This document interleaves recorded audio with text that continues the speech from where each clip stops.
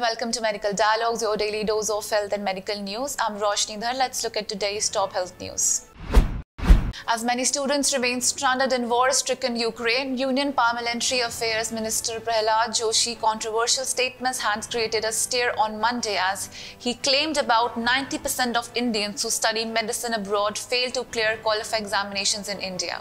However, responding to the questions of media, he added that this is not the right time to debate why students are moving out to study medicine. As per the rules, the medicos who pursue MBBS from abroad had to appear for foreign medical graduate examination to be able to start a medical practice in India. While talking about rescuing students stranded in Ukraine, the minister suggested that the national eligibility cum entrance test, that all India medical entrance test is quite difficult to qualify. Hence, students often decide to pursue medicine abroad. That's all for today. Stay safe. Never miss a medical update from Medical Dialogues.